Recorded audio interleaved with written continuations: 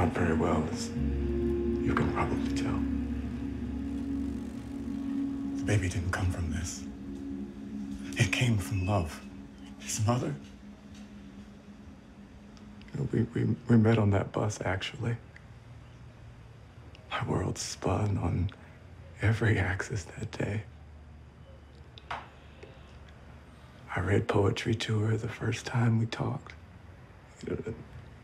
Not any of mine. I was too shy for that. One of my favorite poets. And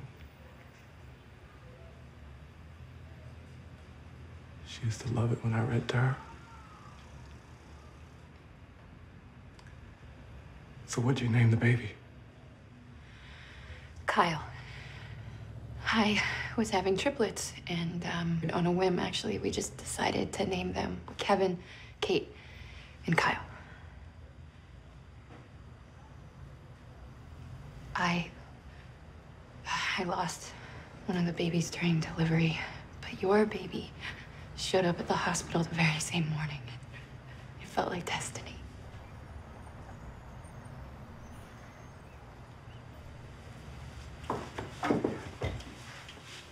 Um, I just. I appreciate this. I, I, I wanted to know his story. And that there was good here, so. Wonder if I could check on him from time to time.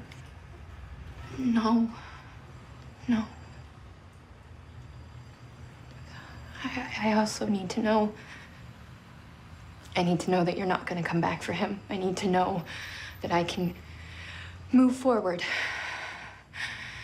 Because he will have your blood and the blanket you wrapped him up in, but that's it. That's the deal. Otherwise, I understand.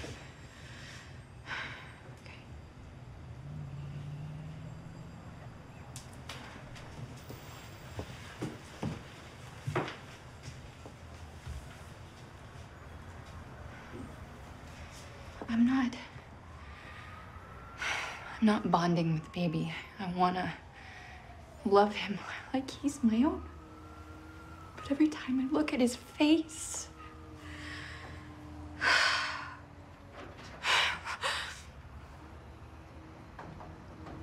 Give him his own name.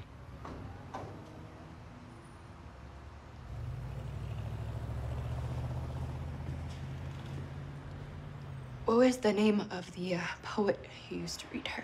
Your favorite poet?